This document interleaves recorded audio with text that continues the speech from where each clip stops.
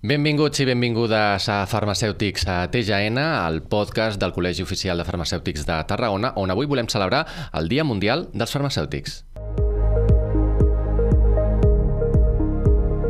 El proper 25 de setembre se celebra el Dia Mundial del Farmacèutic i avui en volem parlar amb el nostre convidat, a qui donem la benvinguda, Antoni Beciana, president del Col·legi Oficial de Farmacèutics de Tarragona. Molt bones, benvingut. Molt bon dia, benvingut. Uh, abans que tot, quina importància doncs, té aquesta celebració, aquest Dia Mundial doncs, del Farmacèutic, que suposo que és d'aquelles dates que teniu marcades en roig no? en el calendari com un dia, un dia gran. Exacte, és una miqueta visibilitzar no, la tasca que fem els farmacèutics no, a nivell per, de servei a la societat. Ja no sols la, la farmàcia comunitària, que és la, la part més visible no, de la professió, sinó també doncs, aquells companys que treballen a la indústria farmacèutica, els companys que treballen a la farmàcia hospitalària o a l'atenció primària, primària i també la investigació i sense oblidar els analistes que fan tota aquesta tasca que es va posar de manifest també durant la pandèmia, no? tots aquests milers i milers de, de tests d'antígens doncs els van fer companys farmacèutics. Doncs seria una miqueta eh, posar en valor no, el, el que fa eh, la professió farmacèutica per la societat, no? seria una miqueta el motiu d'aquest. que diem moltes vegades eh, que sempre hi ha equips que no es veuen tant, que no són tan visibles, però que també són primordials. Exacte, sí, de la, quan, quan parlem de la professió farmacèutica el més visible és la farmàcia comunitària perquè és la que tenim més extesa no? aquí a, a, la, a la demarcació tenim 346 farmàcies i això vol dir que cada ciutadà, el 99% dels ciutadans tenen una farmàcia en el seu entorn proper però alhora hi ha tots aquests altres companys que treballen en, en altres àmbits de la professió que són tan o més importants uh -huh. I Dia Mundial del Farmacèutic, eh? per tant una celebració, un dia a nivell internacional Sí, sí la Federació Farmacèutica Internacional ja ho va, ho va, ho va determinar, juntament amb l'OMS, que es celebrés cada 25 de setembre aquest dia. Cada any hi ha un lema, el lema d'aquest any és eh, els farmacèutics oferint solucions sanitàries globals i nosaltres hem volgut afegir amb, amb solucions eh, mm, locals. No? Això vol dir que aterrem al territori i fem també solucions particulars en cada indret, no? en, cada, en cada territori, en cada situació. Uh -huh. Per tant, aquí a Tarragona acabem Santa Tecla i celebrem el Dia dels Farmacèutics, que enguany tenen el, el lema Farmacèutics responen a les necessitats sanitàries globals. Exacte, seria aquest el lema genèric no? que, que hem posat, no? perquè al final eh, l'àmbit d'actuació dels farmacèutics és a nivell de tota la salut pública, salut en general, investigació, eh, buscar nous fàrmacs, buscar solucions a noves malalties, no? crear serveis, facilitar de, eh, al fi i al cap no? eh, una millor qualitat d'assistència sanitària i millor qualitat de vida pels ciutadans. Uh -huh. Quines eh, accions en concret es faran aquest dia per donar aquesta visibilitat?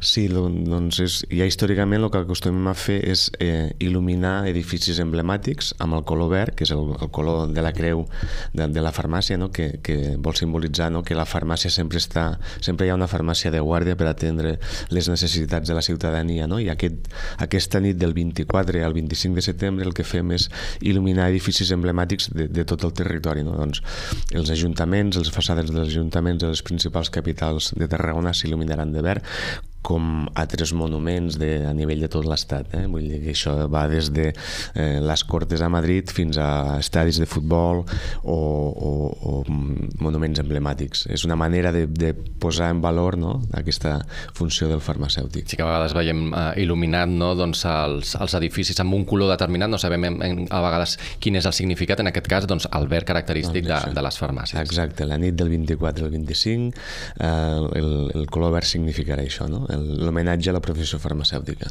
Uh mhm. -huh. Aprofitem, abans d'acabar, per conèixer si es poden avançar ja altres projectes que tingueu per endavant en aquest eh, inici de nou, de nou curs.